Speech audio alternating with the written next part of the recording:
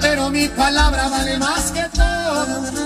Para un buen amigo siempre está mi mano y esa vale oro. A los que me aprecian saben bien de sobra que estamos para todo. Y cuando se ocupe, si se ocupa Lupe, le damos con Toño.